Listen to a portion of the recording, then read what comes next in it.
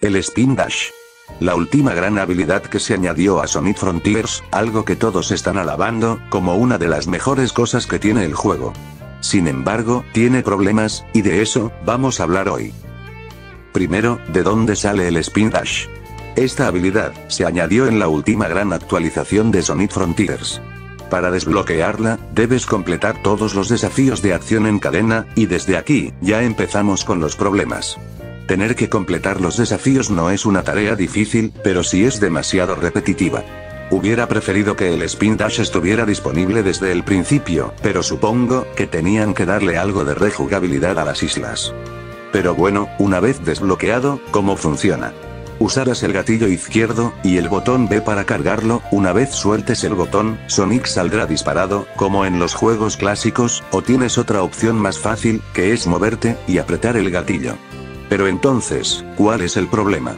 Primero empecemos con la zona abierta, aunque es muy divertido de usar, incluso yendo más rápido que con el turbo, esta habilidad no se acopla bien al terreno, siendo que puedes salir fácilmente disparado por los aires, saltándote grandes secciones del mapa.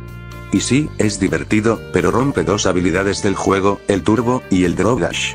El Drop Dash, que ya de por sí, era de las habilidades menos usadas, ahora es mucho más inútil, porque el Spin Dash ya cumple su función, y lo mismo para el Turbo, puedes ir más rápido con el Spin Dash, aunque bueno, el Turbo seguirá siendo útil en los raíles y el aire, incluso, rompe los golpes básicos, ya que también te permite atacar mucho más rápido.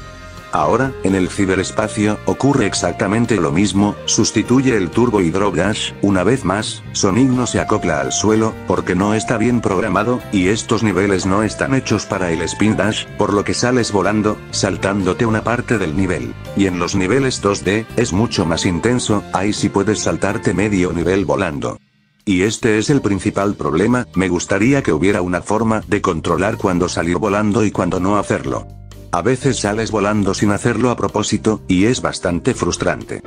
Repito, el Spin Dash es muy divertido de usar, pero no significa que no tenga problemas.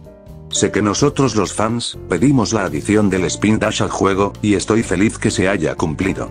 Yo utilizo demasiado el Spin Dash, y es una de las cosas que más me gusta, pero la manera en la que lo aplicaron al terreno, no fue la mejor, y falta pulirlo más, para que no salga volando cada vez que lo utilizas. Pero bueno, espero que te haya gustado, así que no olvides suscribirte, dejar un like, o un comentario, no tengo nada más que agregar, así que me despido sónicos.